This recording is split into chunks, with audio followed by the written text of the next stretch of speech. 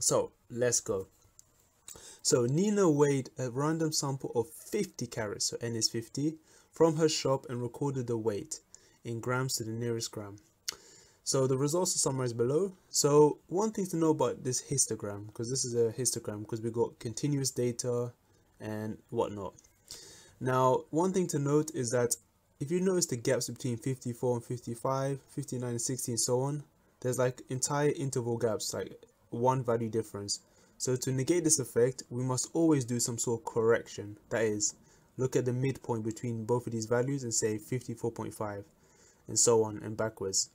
How we know this is because um, Nina actually recorded the weight to the nearest gram. So she's actually rounded down from some error interval. So there was probably an upper and lower bound. This is the upper and lower bound and there we go. Now let's look at each of the question, yeah? So A, and I'm going to do step by step, okay? So use linear interpolation to estimate the median weight of these carrots. Now to find the median weight, we need to firstly realize that we had 50 carrots and the median is the middle weight, so the so the, the halfway mark, so 50 over 2, so it'll be the 25th carrot. Now to find the 25th carrot, my tip is to firstly always look at the frequency and do the cumulative frequency in brackets next to it. And you'll notice that the 25th carrot has to be between 15 and 37.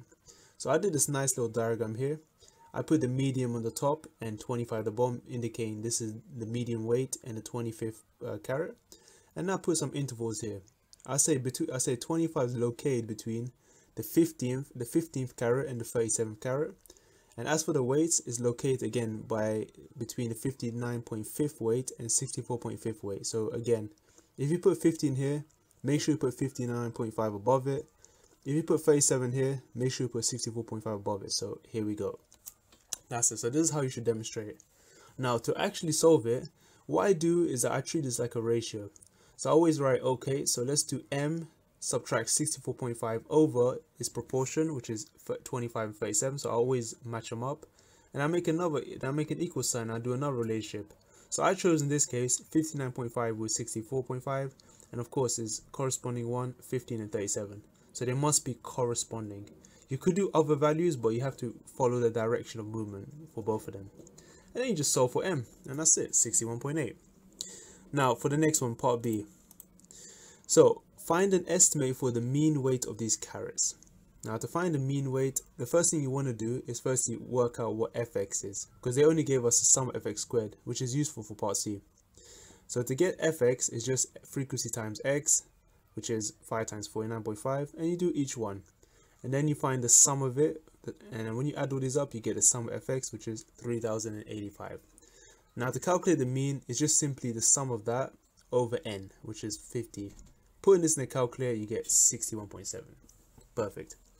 Now for part C we need to find the standard deviation of these weights of these carrots and to do that I mean I usually find the variance first because the, the reason why is because you could just simply square root the variance to get the answer and that will give you the standard deviation now the variance formula is as follows. It's actually the sum of fx squared. So it's, it's going to be the value in the bracket over n, which is 50. So we have everything.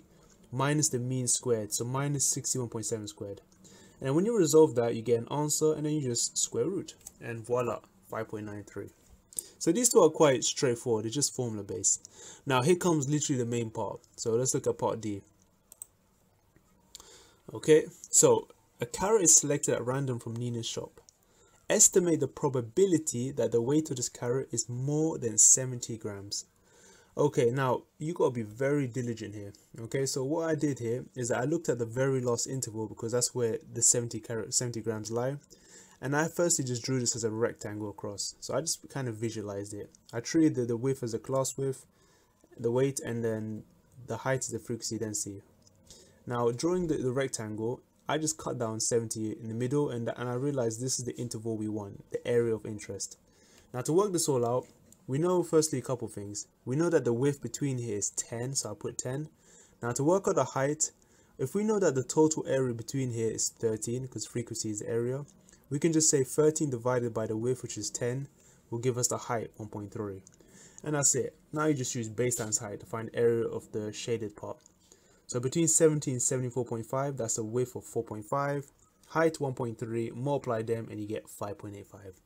And that's it. And because the question wants the probability, it's going to be 5.85 over the total number of outcomes, 50. So it'll be 1 0.117. And that's it. That's literally number one wrapped up. And if you guys enjoyed it, please give me a like. Otherwise, let's keep going. So, number two, let's do this thing. So the box plot shows the times t minutes it takes a group of office workers to travel to work. So as usual, I you know I just literally stuffed everything here, all my solutions, but we're gonna walk through it. Now looking at every single details here, the first thing you want to note is that you got this box plot. The lowest value is the minimum and here is the maximum.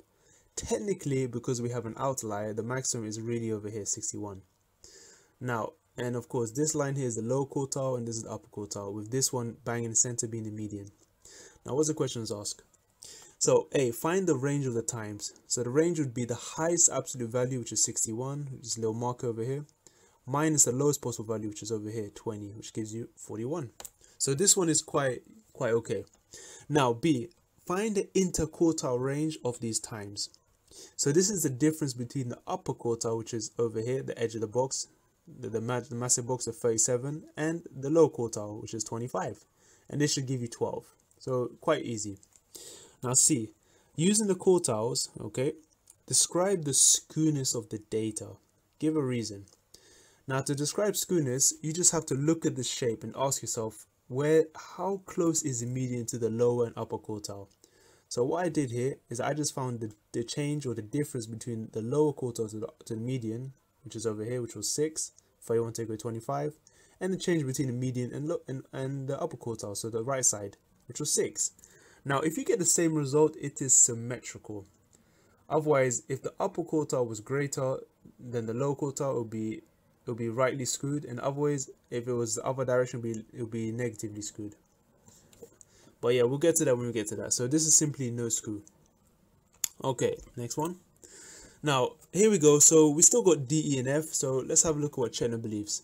So she believes that the house prices will be higher if the time to travel to work is shorter. I just highlighted this, so we should just quickly spot that if one if one goes up, other goes down. This is a negative correlation. Okay, they they they're inversely related. Now she asks a random sample of these office workers for their house prices in pounds, where X is measured in thousands and obtains the following statistics. So we got the usual stats. Now calculate the R value between X and T, the correlation value.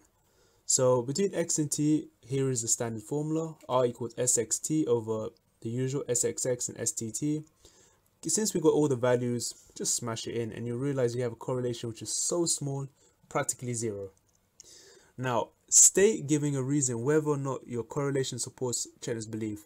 So Chetna's belief is a negative correlation. This is zero. The answer is no.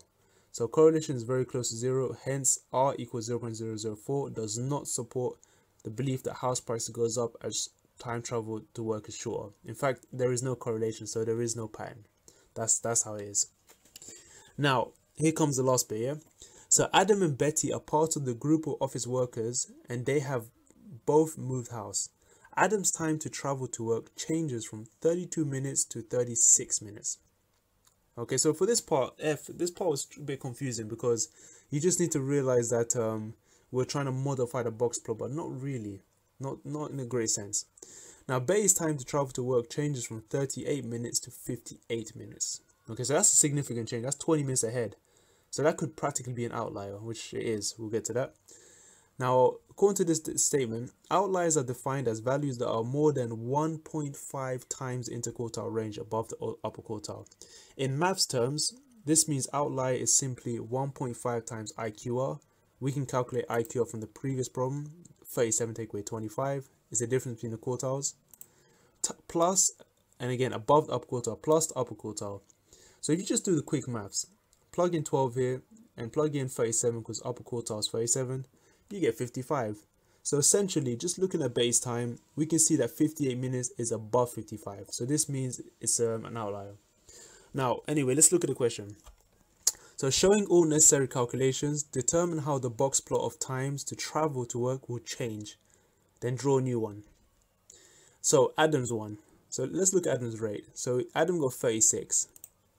Now 36 ooh, is actually between 31 and 37. So actually it's between these ones, so it, it doesn't really affect it. So it's actually within the bulk of the distribution. However, Betty's value is an outlier as 58 is bigger than 55, so it'll be somewhere on this side. Now I went ahead and drew this here, so I got something like that. So actually I did I lied. I copied and pasted from the first one and just stuck an X there. Because why? Because all the values should be the same. And yeah, that's really it. You just plug in X there and you're done. Now we have two outliers.